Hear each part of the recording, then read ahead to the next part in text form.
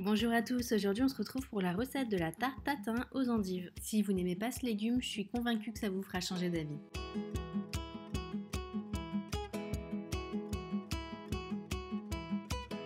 Et on peut commencer la recette, vous allez voir c'est vraiment très rapide. Donc je commence par laver 5 endives, vous pouvez en mettre plus ou moins en fonction de la taille de votre plat. Je les coupe en deux et ensuite j'enlève cette partie qui va enlever l'amertume de l'endive. Passe maintenant à la cuisson, donc tout est approximatif, c'est environ 20 g de beurre et une cuillère à soupe d'huile d'olive. En rajoutant cette huile, ça permet au beurre de ne pas noircir. Ensuite, je viens ajouter les endives et je vais commencer à les cuire 10 minutes sur une première face.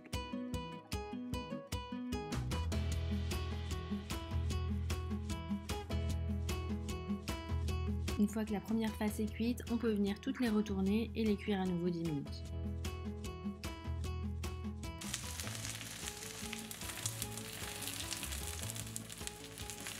Pendant que les endives cuisent, vous pouvez commencer à préparer votre plat. Donc j'ai mis environ 20 g de beurre et environ 2 cuillères à soupe de sucre.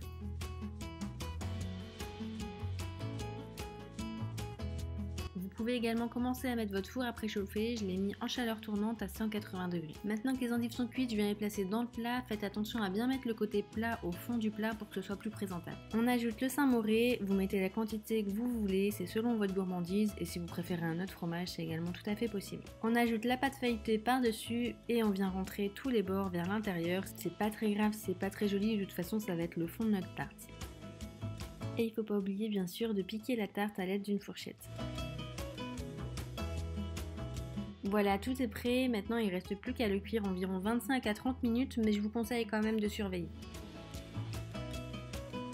Et voilà, ça a dû embaumer certainement toute votre pièce. Il reste plus que maintenant à retourner le plat. Donc vous posez une assiette par-dessus ou un plat, vous retournez et vous avez une sublime tarte aux endives. Voilà, j'espère que cette recette vous aura plu. N'hésitez pas à nous le dire si vous avez reproduit cette recette. Vous êtes également les bienvenus sur notre compte Instagram et retrouvez toutes les recettes avec le hashtag les recettes de TWOS. A très vite, ciao